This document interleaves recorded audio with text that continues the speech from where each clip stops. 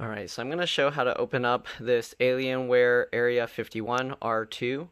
Um, so there's two side panels. I'm not sure what this one does, but you got these two levers here. So what you do is you pull this lever up, and then the side panel will come off. To take it out, you kind of swing it forward a little bit. Let me zoom out a little. And then you just grab it and pull it up, okay? So here you can see inside it's kind of a weird design. I don't know why they decided to do this. It's not very good.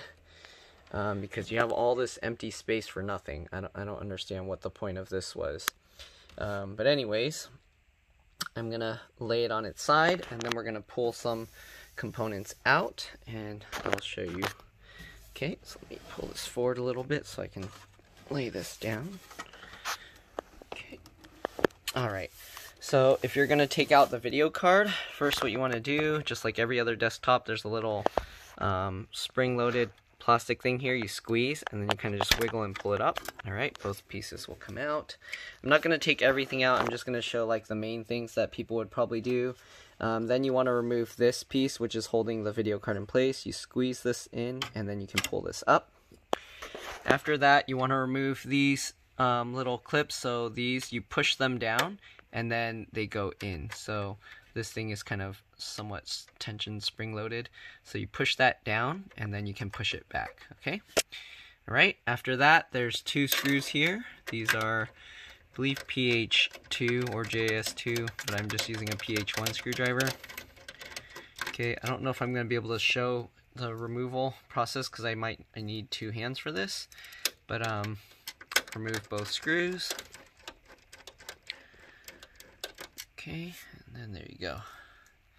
Okay, and then to remove the video card, there's this little white thing that's spring-loaded. You push that, and then while you're squeezing that, you can pull the video card up. I'll try and do this with one hand. Kind of just wiggle it as you pull it, like that.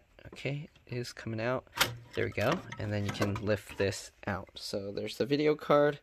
I'm going to set that aside on here. Um, it looks like if you replace a new one, hopefully you can put these screws in. I don't know. But yeah. Okay, because you want one of these. These brackets help hold it. Though, I guess if you get other video cards, you won't have another metal bracket to put it. But if you're upgrading to a different video card, then you can. Okay, then you got the RAM here. So I'm not going to take all of this out because all of this is like standard desktop stuff. Um, but we'll show you the RAM. Just like every other desktop, the RAM well, I guess some of them now they only have one movable thing, but you push these two little wings out to the side, and then once you do that, then you can actually grab the RAM and pull it up, okay? So this RAM, the model here is, uh, so it's 4 gigs, PC4 2133P, so that's the type of RAM you'd need is PC4 2133P and then you can get other sizes. So if you want, you can put all 8 gig sticks or even 16 gig sticks. So I'm going to set that aside. I'm actually going to take out all the sticks of RAM, um, but it's basically the same process. Just pull these two wings out, and they actually label it on here the order that you're supposed to put the sticks of RAM in. So if you see, there's DIMM1, 2, and then on this side, where is it?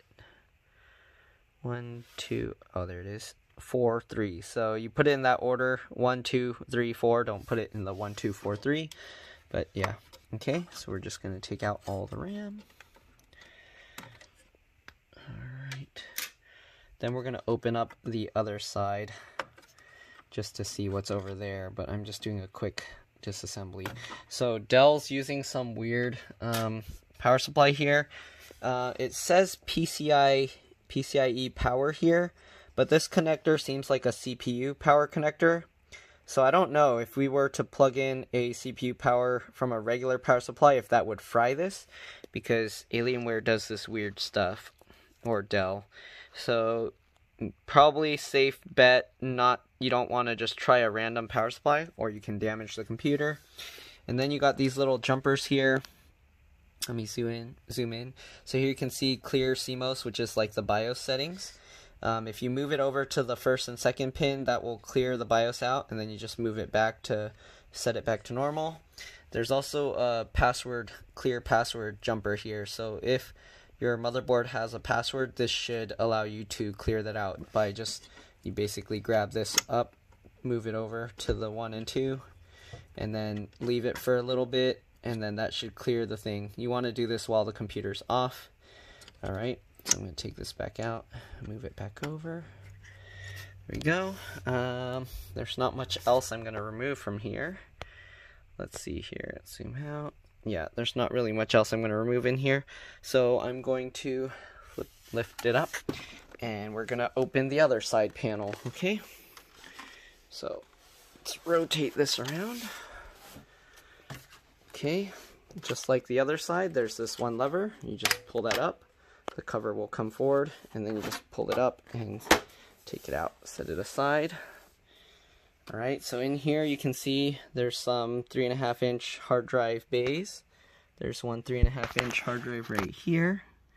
Okay, I don't see an SSD. I don't know why they're not using an SSD in this gaming machine. Or maybe there is an SSD somewhere and I missed it.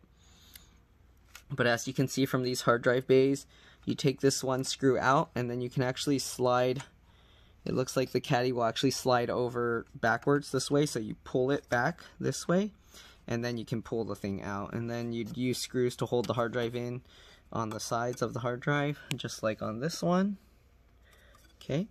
And then you can just slide them back in. They have all the cables in the place where they need to be so that's kind of nice. You don't have to kind of go fishing for them you got the optical drive or CD drive here then you got a bunch more cables over here these are for the front panel with the USB ports and everything. But um, yeah, there's not much else for me to show here. So I'm not gonna pop up open random stuff. So yeah, that's pretty much all there is. Um, hopefully this video helped at least to get you to open the thing or something if you needed to open it. It looks like there's some, oh, there's some two and a half inch SATA um, ports or slots here, so you can actually put in the SSDs here uh, without having to get an adapter for these. So that's nice. It actually has enough room for two, and they got the two um, data cables, but I don't see power connectors. Oh, there's one down here and then one here. I guess you can probably make these reach over there if you wanted to. You'd have to take this clip out so you can unclip this and then you can move the cable over but I'm gonna leave it as is and yeah, so that's pretty much all there is. Um, as far as putting back the uh, panel, you want to get this little metal thing to go over this. It's hard, I can't really show this on camera, but you want that metal thing to go over there. Oh, there, you can actually see.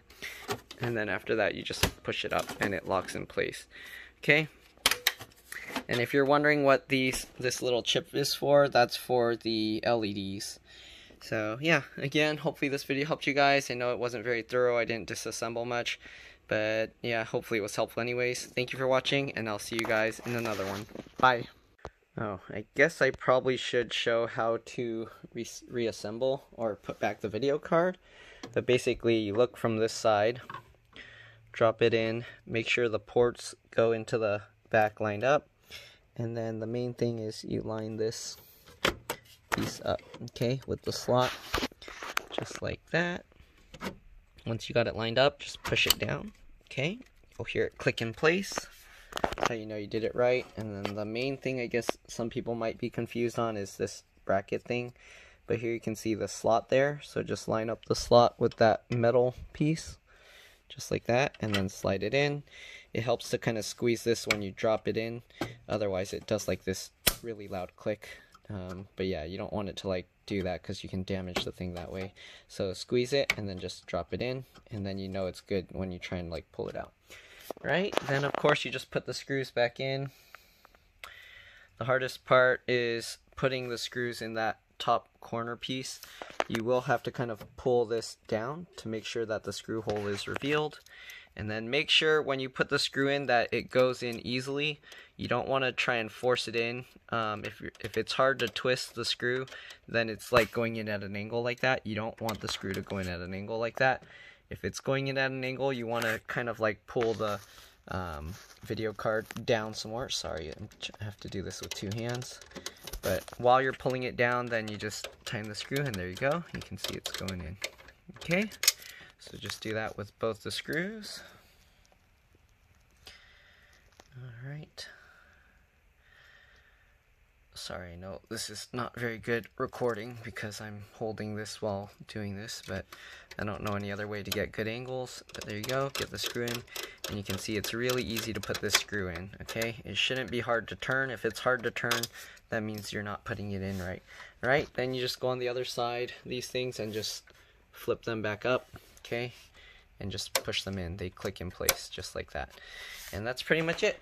So, lift the thing back up. Oh, jeez. Okay. Lift the thing back up. Let's zoom out. Okay. Grab the panel just like the other one. Okay. Get that metal thing lined up at the bottom and then close it in. Alright, so that's pretty much it. Again, I'm not sure what this thing is for.